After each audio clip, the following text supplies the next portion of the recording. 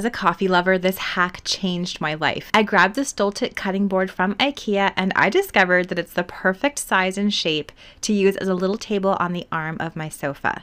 This is going to work on any square armed couch. Now I can drink my coffee and place it down without worrying about spilling.